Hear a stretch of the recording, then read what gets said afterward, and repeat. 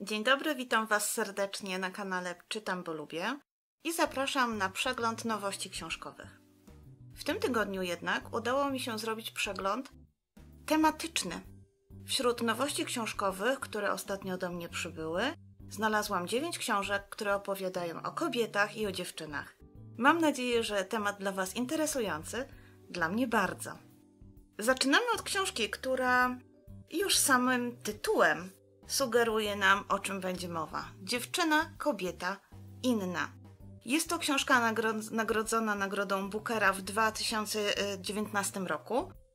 Autorką jest Bernardine Evaristo i jest to książka o 12 kobietach, które są ciągle w drodze, ciągle poszukują, poszukują, poszukują celu w życiu, utraconego członka rodziny, poszukują miłości.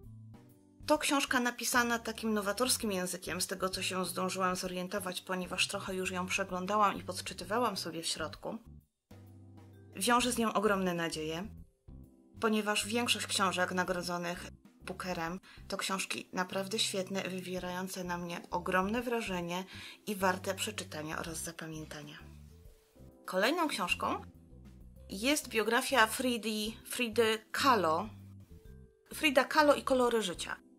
Jest to, zdaje się, początek nowej serii wydawniczej dotyczącej biografii kobiet, ponieważ wydawnictwo, wydawnictwo Znak Horyzont, reklamuje na okładce oraz na zakładce, która tutaj znalazła się w środku, kolejne dwie książki. Biografię Madame Piaf, czy Edith Piaf oraz Marie Callas. Jak wiemy, Frida Kahlo, meksykańska malarka, żyjąca na początku XX wieku, była kobietą wielu talentów, ale również kobietą bardzo poszkodowaną przez życie. Ona jako młoda dziewczyna bardzo ucierpiała w wypadku samochodowym i ten wypadek oraz jego konsekwencje sprawiły, że musiała zmienić całą swoją koncepcję na życie.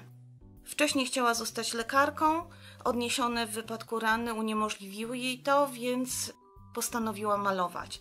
Później poznała znanego wówczas w Meksyku, znanego do tej pory, malarza Diego Riviere, który był bardzo zaangażowany politycznie i także bardzo dużo od niej starszy.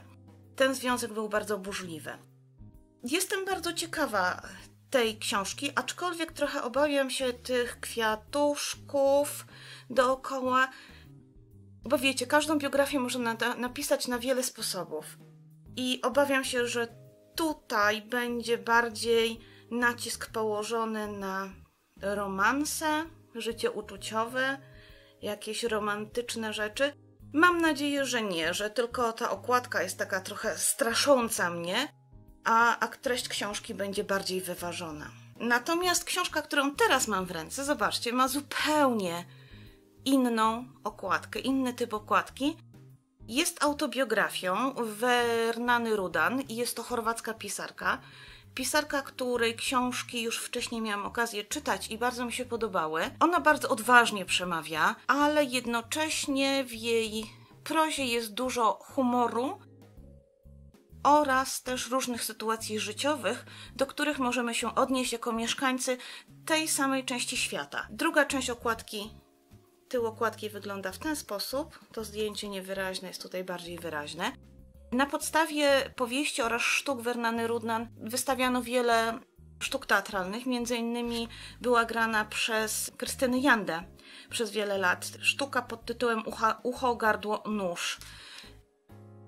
Jestem przekonana, że to będzie dobre, dowcipne i mocne, a jednocześnie bardzo przenikliwe, bo tak jak mówiłam, ta pisarka słynie z przenikliwego języka.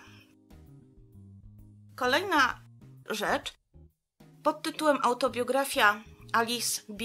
Toklas jest autorstwa Gertrudy Stein. Gertruda Stein y, przez wiele lat mieszkała z, czy dzieliła życie z Alice Toklas i tworzyły taki salon paryski, w którym zbierała się cała śmietanka towarzyska i kulturalna. Między innymi stałymi bywalcami w tym salonie był tam Picasso, Cézanne, Apollinaire, Fitzgerald.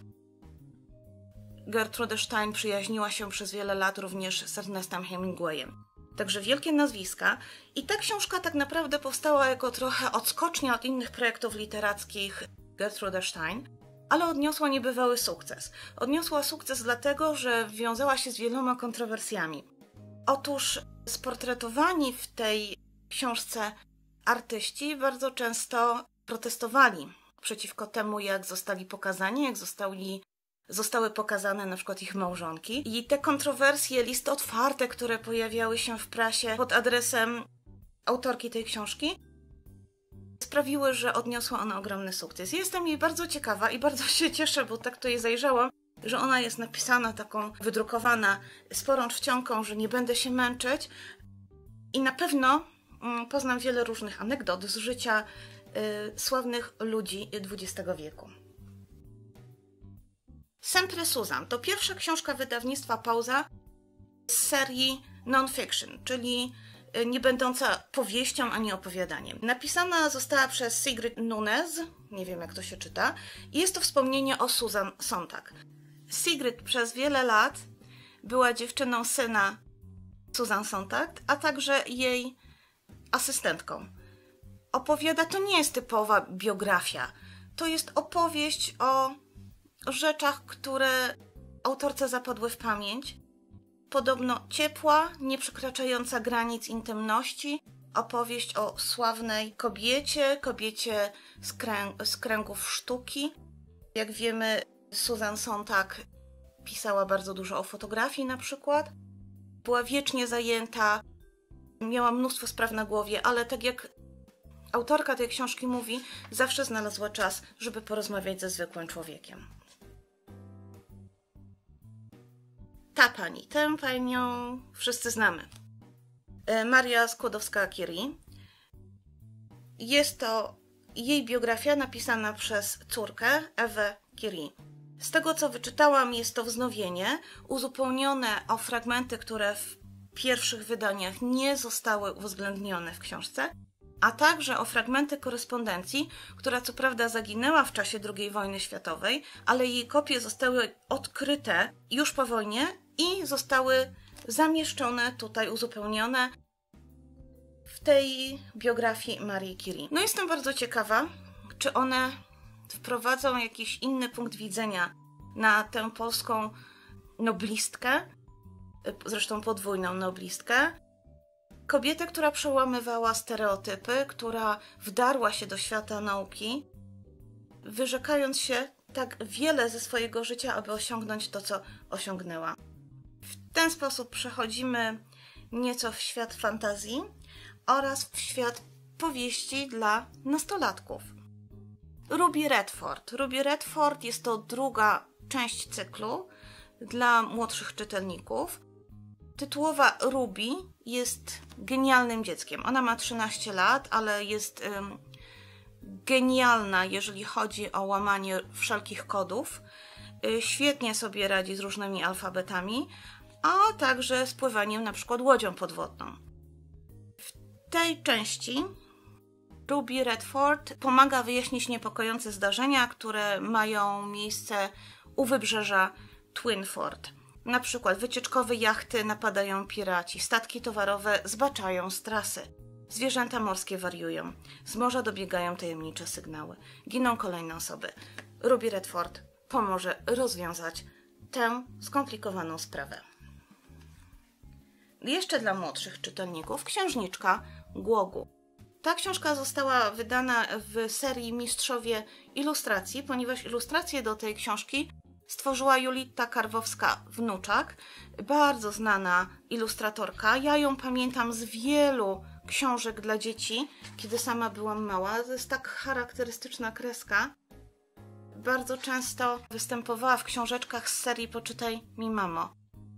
I ta książka to jest książka o ukochanej królewskiej córce, nad którą od dnia urodzin czyha wielkie niebezpieczeństwo. Rodzice starą, starają się za wszelką cenę ją uchronić, no ale wiadomo, na pewno się nie da.